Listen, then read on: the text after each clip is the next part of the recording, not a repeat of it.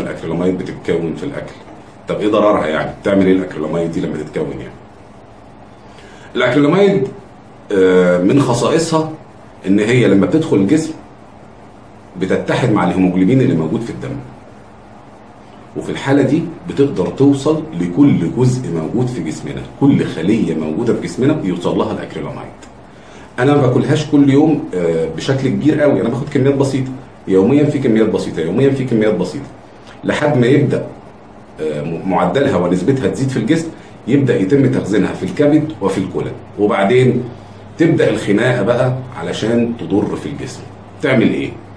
كل واحد مننا من وإحنا أطفال صغيرة إحنا جسمنا فيه مليارات الخلايا وفي انقسامات بتحصل للخلايا وتكاثر للخلايا بشكل مستمر.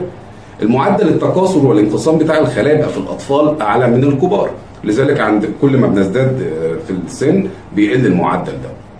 طيب المعدل ده الخلايا شوية الخلايا دول هينقسموا ب rate معين وبيوصلوا لمرحلة معينة في شوية خلايا كبروا في السن خلاص الخلايا دي بتموت ويجي خلايا جديدة تحل محلها. تمام هو مين اللي بيدير ال system ده؟ إيه الحاجة المسؤولة عن النظام ده اللي محطوط ده؟ ربنا سبحانه وتعالى خلى الجينات هي المسؤولة عن الموضوع ده.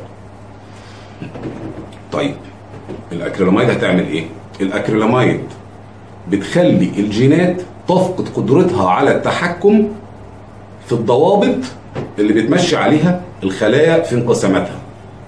بمعنى بتخلي الخلايا دي ملهاش كبير ماشية بمزاجها تعمل كل اللي هي عايزاه عايزة تنقسم بمزاجها تروح هنا تروح هنا تروح هنا خلاص.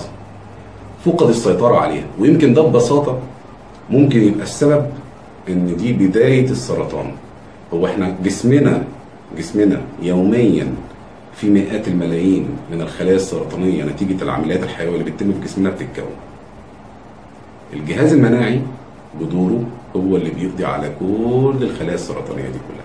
لو في خلية واحدة بس فلتت دي بتكون البداية لحدوث السرطان.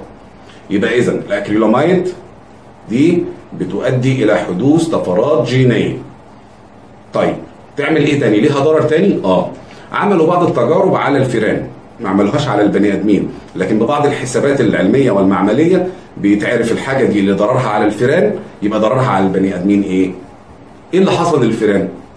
لما حطوا لهم الأكريلاميد في مية الشرب اللي بيشربوها بكميات زيادة.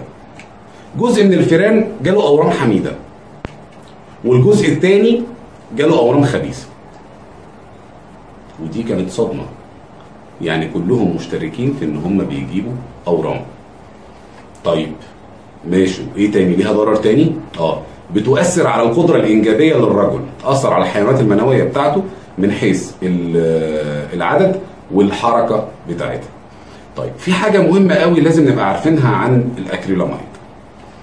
الأكريلاميد مفعولها تراكمي. يعني إحنا بنقول هي موجودة في بعض آه، أنواع ال- الأكلات النشوية زي البطاطس لما قلنا مثال مثلا.